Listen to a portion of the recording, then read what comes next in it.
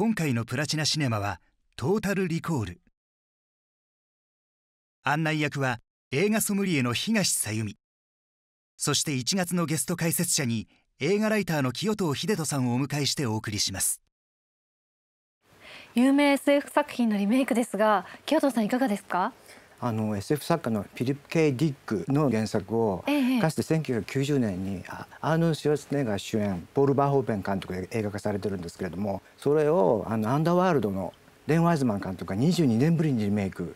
したんですよ。レイ・ワイズマン監督が手掛けてるので本当にアクションがスピーディーですよね。そうなんです。物語自体は近未来の地球で富裕層のブリテン連邦っていうところがあるんですけどそれとコロニーっていう労働者階級が住んでるエリアがあってそこに住んでるコリン・ファレル演じる主人公が他人の夢を脳にインストールして世界を体験してみたいっていうことにチャレンジするんですね。自分の記憶は何なんだろう？本当なんだろうか？その自分が信じていた世界は本当なんだろうかっていうその夢の不確実性っていうのはそのフィル・ケイ・ディック作品全体に通じるテーマ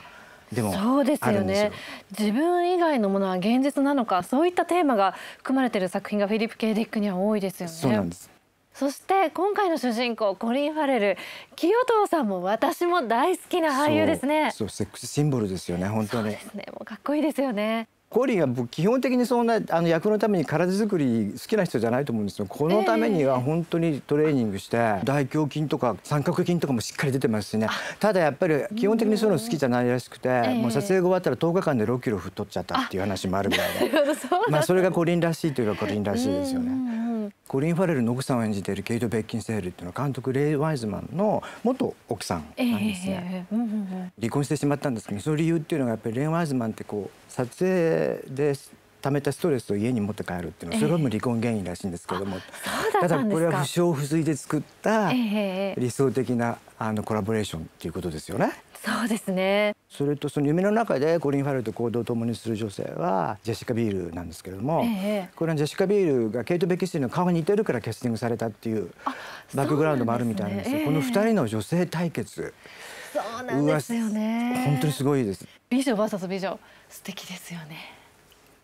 そしてこの映画では過去作品へのオマージュだったりそういったところも探してみると楽しいですよね。そうなんですポール・バフベン版でシュワツネガーがちょっと女性に化けるんですけれどもその女性の顔がこう段階的に開いて、シュワツネガーの顔が現れるっていう似た女優がもちろん同じではないですけど今回も出てくるし、えーはい、あとおっぱいが3つある女性が、はいそうです、ね、オリジナルは火星なんですよ。こっちは地球で出てくるし、そういうあのリスペクトするシーンもありながら実はでも過去の SF 映画のいいとこ取りでもあるんですよ。えー、でさっき言ったブリテン連邦のそのビジュアルっていうのはアイロボットだし。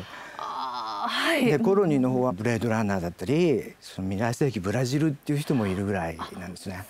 なんですね。からあのロボット警官が登場するんですけどもこれは「スター・ウォーズ」のクローントルーパーとかドロイドとかをミックスしたようなビジュアルだし他にもあるんですよ「マイノリティ・リポート」のスピナーっていう車とか、あとラストのチェイスシーンはスピルバーグの AI にも似てるっていう部分もありまして、っていうのはレオ・マイズマン監督がスピルバーグ審判で必ず自分の作品にスピルバーグにオマージュ捧げるっていうところもあって。なんですね。ですからその SF ファンアクションファンはその見ながら自分の見た SF の記憶をそれこそ記憶が本当かどうか主人公と一緒にたどる楽しみもあると思うんですよね。なるほど。それでは皆さん週末はザ・シネマで輝く夜を